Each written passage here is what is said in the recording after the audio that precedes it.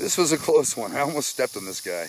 I mean, it was real close. I'm so glad he rattled first because I, I was in strike zone. As you can see, he's not really aggressive. He's holding his ground, but he's not coming well.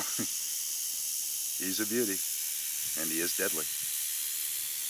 But uh, I've been meaning to get some snake guards because it's real brushy in the desert where I live. But uh, he looks very similar to Stanley, actually.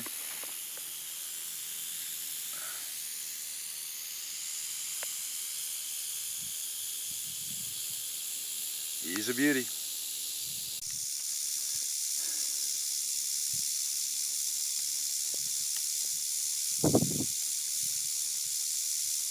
Well, he's a big fat rattlesnake. Looks like, looks like he just ate last night. Never. All right, I'll leave you alone. Goodbye.